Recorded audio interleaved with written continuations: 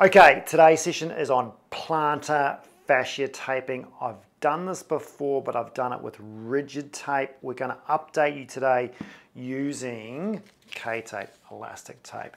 And the reason we're doing this one is because the rigid tape is really good for if I want to lock up this arch, lock up this foot to stop it moving. So someone who's got severely acute plantar fasciitis or they've done a tear in the plantar fascia. Maybe they've got a bony spur as well, and it's super painful, and they basically can't walk unless they either in a boot or they're taped up.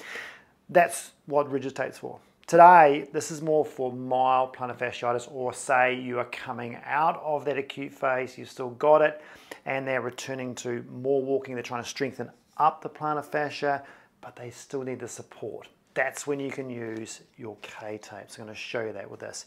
It's also quite nice because it gives that a real elastic spring. So some people might like it better than the rigid tape because one, they can move a little bit more, but it's still got the support. So I'll show you what we're going to do with that. Two things you got to do first is to like, you can call it a stirrup if you like. You're going to do use long bits of tape to go from the big toe to the heel, there's one one, and then the little toe to the heel. You can add on a third, I'm just going to show you two today. What you do to measure that is go from the big toe to the heel. That sounds silly, right? But that's what you measure, okay? So you look at that and go, okay, one, two, three, four, five for her foot, cut off five. Just double that because you're going to have two. One, two, three, four, five. There you go. Now, with this one, as with all K-tape, is you round the edges. So just snip off that. That'll just stop it falling off and catching on socks and things like that. So round all that. Then what you're going to do is apply the first one, and the first one is going from the big toe. Remember, anchors are always zero. Cut off about an inch, so there's your anchor. That goes on the metatarsal head of your big toe. There it is there, okay? So zero degrees, really lock that down because you do not want that coming off. Then you're gonna grab this, pull it back to where you'd be for the last anchor, okay? Because that's gonna be zero. So that gives you something to pull on. Plus, if you look at that, see I'm not touching the tape. You touch that tape, it's gonna make it less sticky. So hold on to that bit. For the first thing what I want you to do though, is see how she's in dorsiflexion, she's lifted her toes up she's got to relax that and let it go. Okay, what I wanted to do is almost go into a bit of an arch. So I can then crank this up. Now, I'm going to hit the floor with that. So what I want to do is lift her up a little bit. I'm going to crank this up quite a bit and wrap it to the heel like that and then put it down again so I didn't touch the ground. On this side, I'm going to come around the back and just then, see that lateral border of the foot, just whoop, and do that. Right? And that just provides with a very long anchor here. Good thing about that is if I have it back at the heel, it's more likely just to rip off the back of the heel. If it's long like that, remember that is zero tension, right? It just keeps it secure. I don't want to be hitting the back of the heel and then it falling off. So then you push all this down like this. Okay, so I'm providing the arch with a bit of elastic support, like a little sling but also gives a bit of muscle contraction there. If you've got tape pulling on that, you're going to activate a bit of that muscle contraction to help our arch lift up, which supports the plantar fascia. And the big thing about plantar fasciitis is you do get a lot of muscle sort of almost denervation or deactivation because of the pain.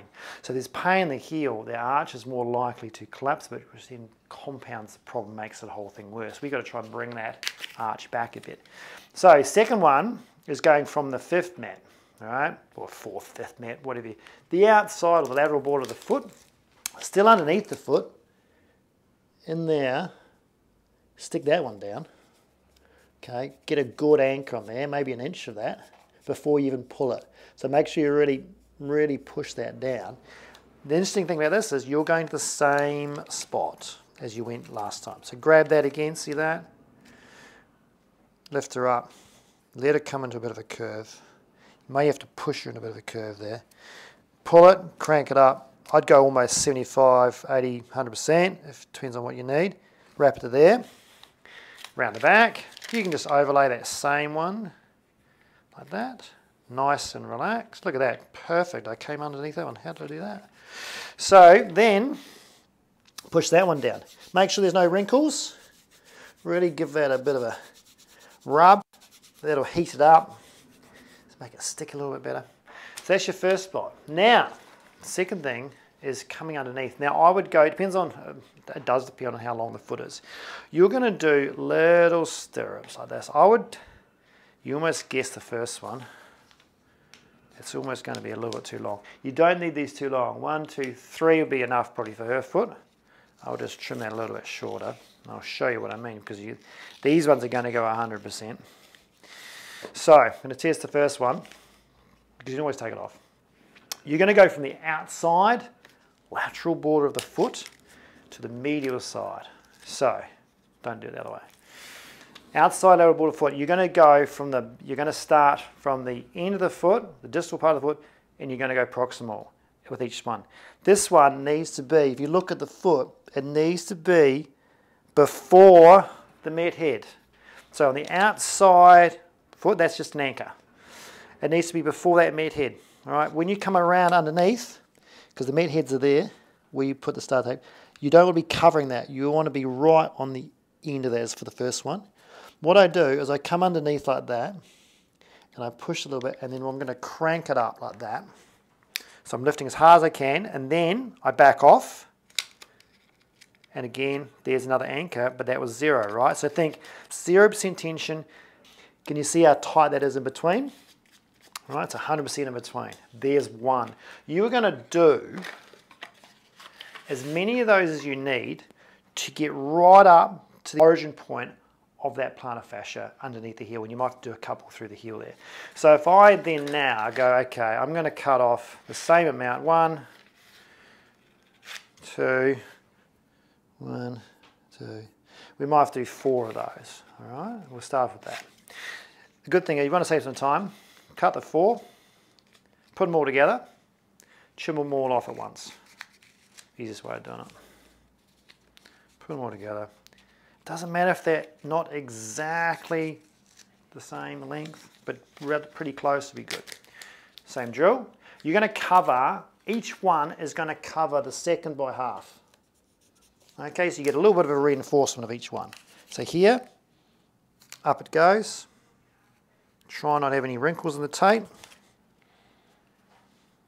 Back it off. The, you're you'll find the people, the patient loves this, okay? When they stand on this, it's so supportive because you're really assisting the arch to help the plantar fascia and that support just drops their pain down, lets it heal up faster.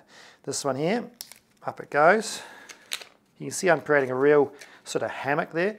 Remember, it doesn't matter that it comes up onto the shin like that because it's a zero anchor. It doesn't, it's not going to pull on anything here. It's just a, you know, something to anchor down. Last one here. And that covers, see that's going to cover the insertion point. And I'll just go, just angle the foot a little bit like that.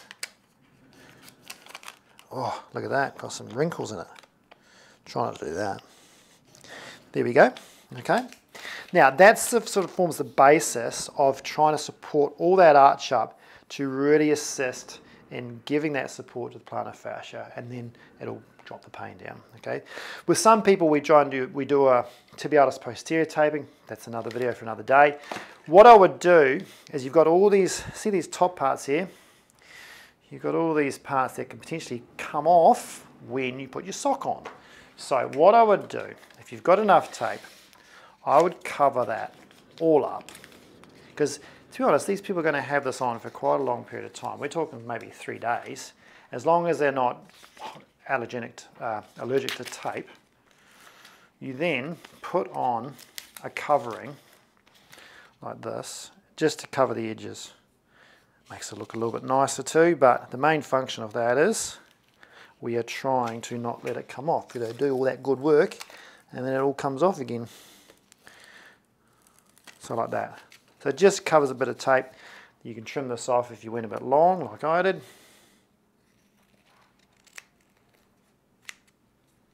There you go. Okay, and voila.